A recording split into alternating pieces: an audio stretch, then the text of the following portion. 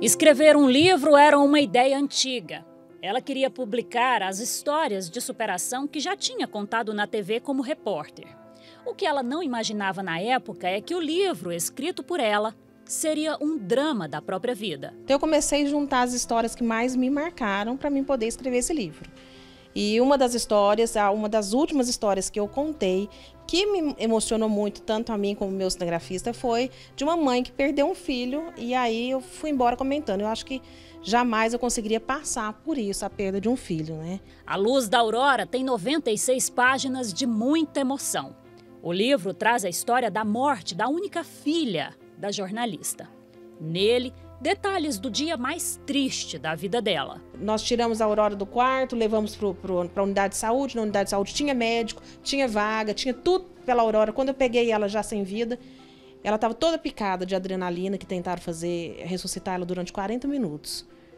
Mas não foi possível, né? E aí o diretor da unidade de saúde perguntou se eu gostaria de um lugar para despedir dela. Depois eu acho que ele até arrependeu, porque eu passei cinco horas com ela morta no meu colo. Aurora morreu um dia antes de completar sete meses de vida. Era um xodó, a caçulinha mais amada pelos então irmãos mais velhos. A perda foi com certeza o maior luto já enfrentado por todos da família. Mas o sofrimento trouxe um aprendizado. Não tem nada, nada material que é mais valioso que alguém. Nada. Não existe. A Aurora nos ensinou o que vale a pena na vida. Né? Hoje Dificilmente a gente é, perde a cabeça por qualquer coisa. Quando a Aurora morreu, a jornalista recebeu milhares de mensagens de mães de todo o Brasil. Muitas desconsoladas contavam como estava sendo a experiência de enfrentar o luto por um filho que morreu. Algumas viraram amigas, serviram para fortalecer. Hoje, tudo está registrado aqui nesse livro que será lançado, A Luz da Aurora. E aqui dentro, no final, tem uma carta da endereçada à Aurora, né? Uma carta para ela que eu queria que você lesse para gente.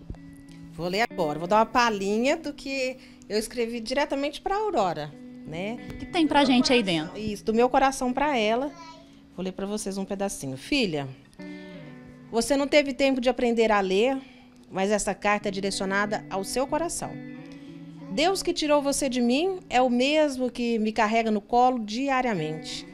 Você foi uma das coisas mais lindas que já aconteceu na minha vida.